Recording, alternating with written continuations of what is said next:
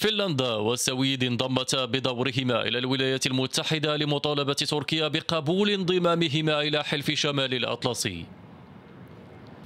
وزير الخارجية الأمريكي أنتوني بلينكن حرص خلال لقاء مشترك مع نظيره السويدي توبياس بيلستروم والفنلندي بيكا هافيستو في واشنطن على تجنب إظهار أي استياء من تركيا التي تتحفظ على انضمام البلدين للحلف.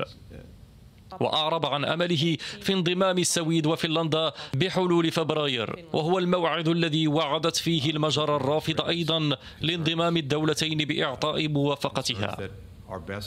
وتتمتع كل من السويد وفنلندا بعلاقات وثيقة مع الجيوش الغربية. إنما لم تصل تاريخيا إلى حد الدخول في تحالفات مفتوحة خوفا من إغضاب روسيا المجاورة.